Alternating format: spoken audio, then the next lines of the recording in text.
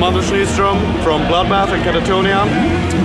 Uh, I play the Blackstar 101 series and also the Flagship Love. Uh, for me, the whole summer festival season is standing out. Uh, I mean, Bloodbath ain't an active band where we're touring.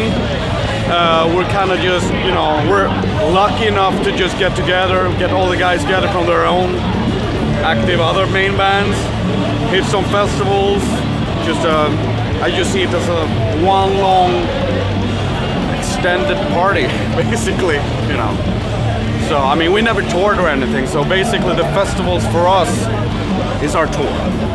So, that's how we always had it. First of all, I can't really put into context that we've been around that long. It's, uh, I would, I, I would never have guessed that, you know, being around for that long. Uh, the band started out just as a side project, uh, a fun thing to do. It's still a bloody fun thing to do. It just moved up from being a side project into more of a serious thing. And I think we've been through, musically, we've been through the whole kind of, you know, everything in death metal basically, touching upon the Florida stuff, the Stockholm stuff, the really brutal stuff, the heavy stuff, fast stuff, everything. And uh, yeah, it's like a chameleon really in metal. We just touch upon what we enjoy basically. And uh, it's a big freedom to do that. No one's telling you to do anything, it's just appreciation, you know, 100% for Bloodbath. So it's a very liberating band to be in. For me, I would probably think about death metal 30 years rather than 20 years. Because my biggest memories is from the late 80s, early 90s. That's when the first peak for death metal was really big.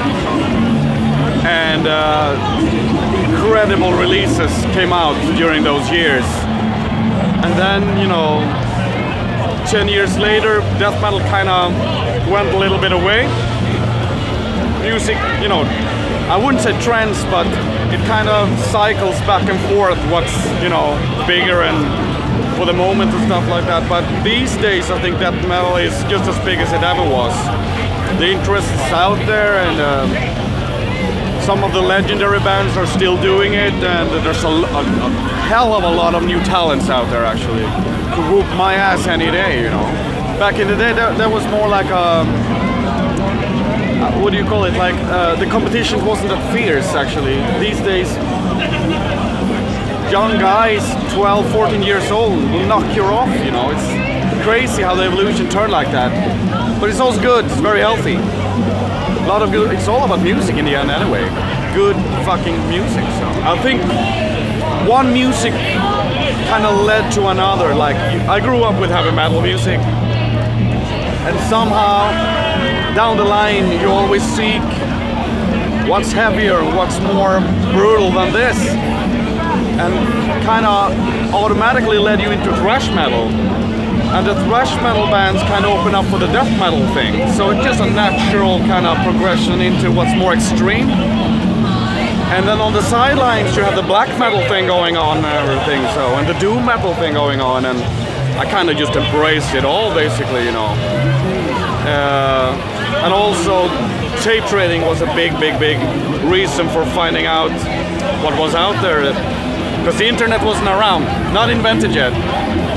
So it was all word of mouth, tape trading, and uh, the scene was really vibrant back then, you know. People met in the record stores, like the, the local record store was actually like the blabbermouth where you heard rumors and exchanged all the news so it was a cool time just very primitive i think with every singer we've been having uh, they brought something different to the table mikael peter nick they're all excellent singers good frontman but they have a very distinguished different kind of style. So I, I never compare them to each other. And I never will. I just appreciate that we're having them in the band. And these days we're working with Nick. He's been in the band now for four plus years. and uh, we just cut a new album. Actually, it's gonna come out this fall, and he's on that as well, of course. And uh, no, I, I think we're having a blast. Nick is really fitting in. We're actually we were friends before he joined the band, so you know the social thing is actually even just as important these days because when you're working that close with someone and you're traveling with them, you really gotta get along. And Nick's funny guy. He's great sense of humor and everything. So I love I love having Nick in the band. With Bloodbath, uh, it's it's more about uh, keeping up like the legacy of a death metal tone. Uh, we've been always uh, representing the Swedish sound, kind of more or less. We always incorporated the legendary HM Boss HM2 pedal, and we always uh, morphed that with a with a Blackstar amp per se. So you, you keep like the, the overdrive pretty low on the on, on the Blackstar, and you color the EQ and, and the level from the pedal into the amp. This colorization, that's just basically the trademark of Bloodbath.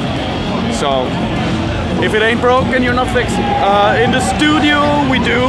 Uh, live, we use whatever we get our hands on, basically. Uh, we're not too fussy about it. It's like we can get anything to work. Uh, but obviously, the HM2 pedal is not involved with Katatonia for obvious reasons. There's no chainsaw going on in there. Same guitars. Same guitars. Same guitars, just a different kind of attitude. But uh, yeah, I guess it's still, I mean, same fingers moving on the fretboards. Uh, it was probably Mikael from Opeth that uh, hinted about it and said like, you know, the classic Marshall thing. If if you want the modern version of that, you, you see Black Star. It's like that. That's just dead on. That was dead on at the time when he said that. And uh, yeah, it's been smooth. It's always worked, and I love the little practice amps and everything. Just a good line in general. Um, our old guitar player used to have the 200 watts. I always had the 100 watt. I think it's enough for me. Uh, no, it's just been working excellent actually. So, and I also always love the the British to the US kind of modern thing. I always love that. It's just a one fucking knob can do that much colorization. That that, was a huge uh, turn on, like a selling point for me. Yeah. Uh, the next thing uh, on the map for Bloodbath will be a brand new album, our fifth full-length album. And uh, as I said before, we only been doing festival style, but now that's gonna change into touring actually. Yeah, so we're gonna bring it up a notch, head out on two tours coming up for 2018 uh, and 2019. So the next tour on the corner is gonna be in December with Kreator, Dimmu Borgir, and the Hatebreed. Katatonia is a little bit on a hiatus right now, um, so not much immediate plans, but in the long run we're probably looking at making another album at some point and once that's done we always end up in a cycle of three, four years of touring, so gonna be a lot of... I'm gonna, I'm gonna get busy, for sure. Yeah.